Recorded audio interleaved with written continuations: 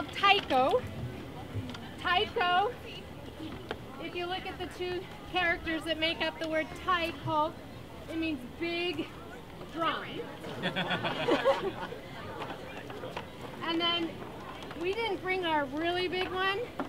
That's called an odaiko, which in Japanese would be big, big drum. but we don't have that one with us today. This here is an okedo. So I'm going to play that next. Um,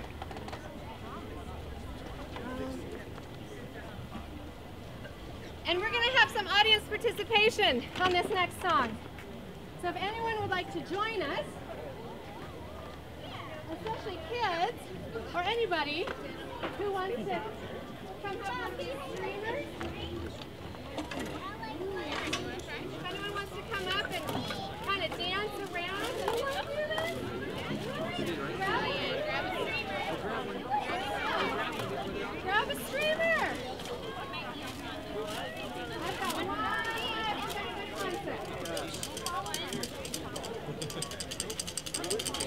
Okay, if you didn't get a streamer, Nina has and Lucas has those little pepper things. So come on up and grab a clapper, and you can come play and us.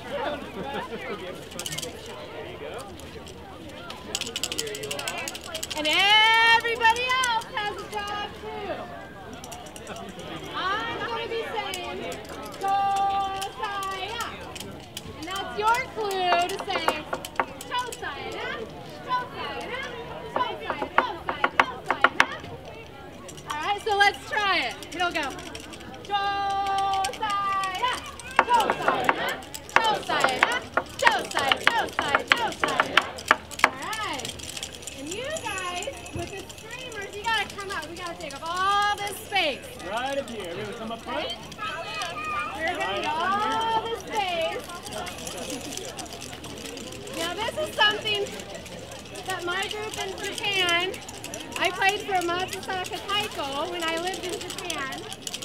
And every year they have a festival in summer. And this is one of the things that they did at one of their festivals. So this is the rhythm.